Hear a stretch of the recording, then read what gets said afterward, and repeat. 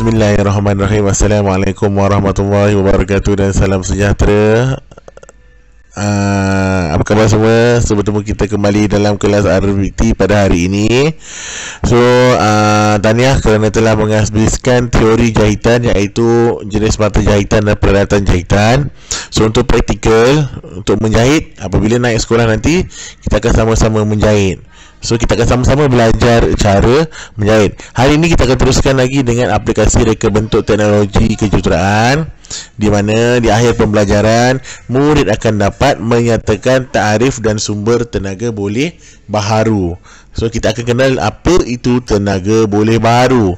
So untuk hari ini Cikgu akan menggunakan uh, konsekuensi boboiboy Untuk mempersembahkan kepada uh, tenaga boleh baharu tersebut So antara bawa yang saya uh, cikgu akan gunakan ialah solar, air, angin, ombak, uh, api dan tanah. Ha, so cikgu akan gunakan 6 bawa-bawa ini.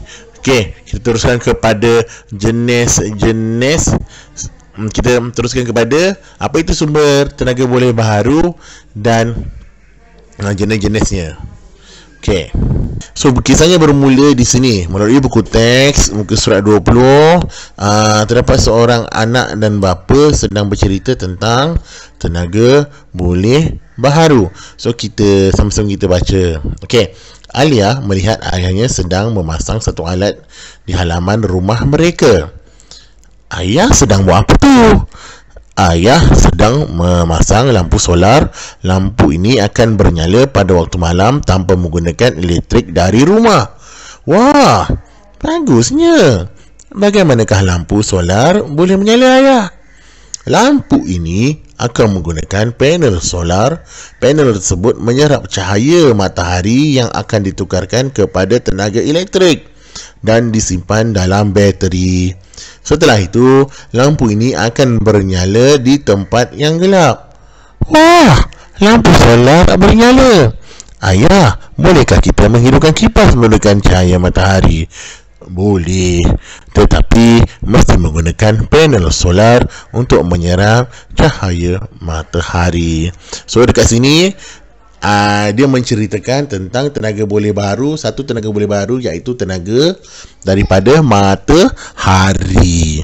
So jom mari kita kenal uh, sumber-sumber tenaga boleh baru.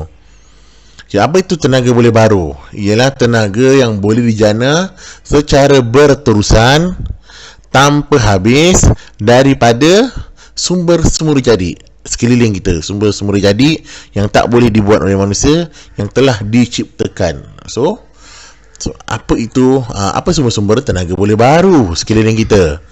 Okey. Uh, boy akan berpecah kepada 6 okey. Yang pertama ombak. Tenaga boleh baru ombak. Yang kedua tenaga matahari. Ketiga air. Keempat angin kelima biojisim, keenam geoterma. So ini adalah sumber-sumber tenaga boleh baharu yang biasa kita kenal. Ha. Okey, yang pertama tenaga sumber matahari.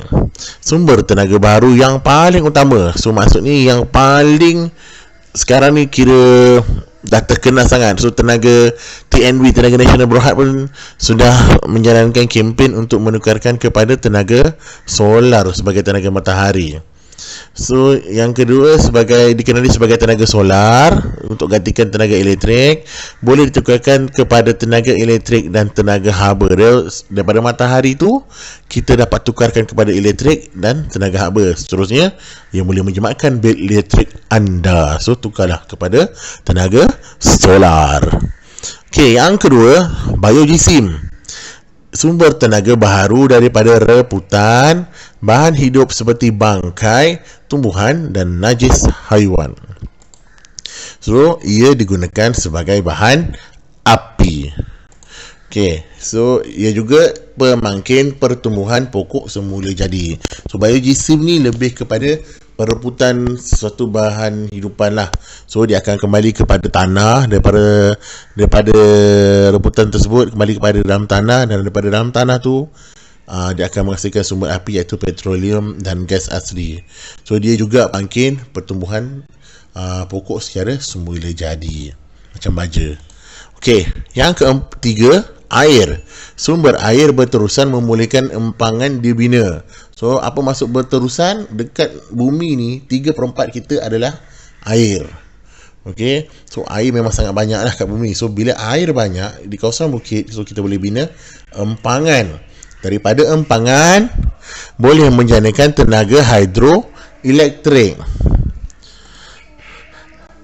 Ia dikenali sebagai tenaga hidro. Okey. So daripada empangan tu maksudnya bila ada empangan, so bila kita nak tenaga nak janakan tenaga elektrik kita buka bagi laluan sedikit untuk air keluar dan arus uh, laluan air yang keluar tu dia akan uh, menyebabkan satu jana kuasa berlaku dan menghasilkan tenaga elektrik. Yang keempat, ombak, tenaga ombak. Dihasilkan daripada ombak yang kuat, ombak akan melalui turbin atau satu uh, satu alat jana kuasa dan menjanakan kuasa elektrik. Stesen jana kuasa menggunakan tenaga ombak kepada tenaga elektrik.